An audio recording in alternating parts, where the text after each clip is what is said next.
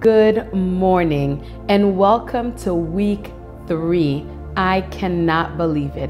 I don't know if you're in as much shock as I am. It's more excited, just excited to be able to finally see the finish line. And what a wonderful two weeks this has been. We want to say a special thank you to Pastor Henry and to Pastor Kay, who have been driving us into our devotions for the past two weeks. And for this last week, we want to focus on Thanksgiving because we are going to praise like we've never praised before for what He has done and what He's about to do in our lives. Give thanks in all circumstances, for this is the will of God for you in Christ Jesus. 1 Thessalonians 5:16. Thankfulness is an abnormal feeling for those who are not believers. But for believers, this is something that is normal, as normal as breathing. See, a heart that is void of God's grace is incapable of being able to be thankful consistently. But because of God's grace that lives in us, we are thankful no matter what, no matter where. It is something that is automatic. It happens wherever we are and wherever we go. In public, we're thankful. In private, we're thankful. Whether we're home, whether we're at work, we have an attitude of gratitude.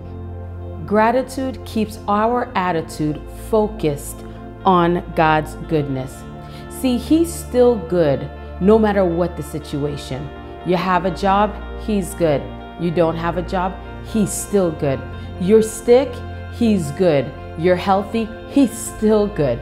No matter what we're going through, no matter what we find ourselves in, the Lord's goodness never fails. So today I want to remind you to be thankful. Be thankful for all that He has done and all that He's given you. Thank Him for the joy that we have in Christ Jesus. Thank Him for the air that you breathe. Thank Him for the food that you eat. Thank Him for the shelter, the physical shelter that He puts over your head. Especially thank Him for the spiritual shelter that He gives us against our enemies. All this for your benefit, so that the grace that is reaching more and more may cause thanksgiving to overflow to the glory of the Lord.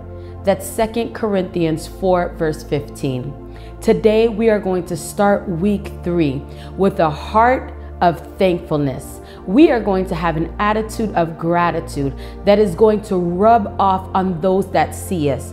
People on the streets are going to be wondering what we're so excited about. May the thankfulness of God reach you wherever you are. May your heart be open, your mind open, your eyes open to be able to give Him all the things that He is deserving of.